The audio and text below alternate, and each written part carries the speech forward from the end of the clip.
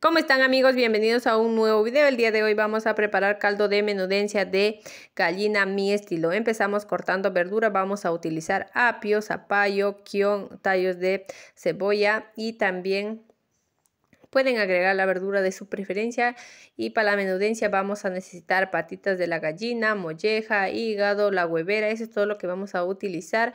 Eh, cuando ya el agua esté hirviendo agregamos las patitas de la gallina, la molleja, dejamos que hierva por un tiempo, luego ya vamos a agregar los demás ingredientes como es la huevera, el hígado, la verdura que habíamos cortado y estaba lavada previamente. También vamos a agregar papa y pues el tallarín. Eso es todo lo que vamos a agregar.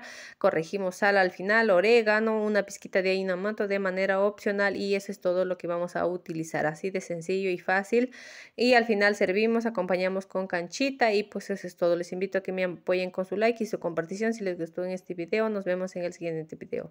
Chao, chao.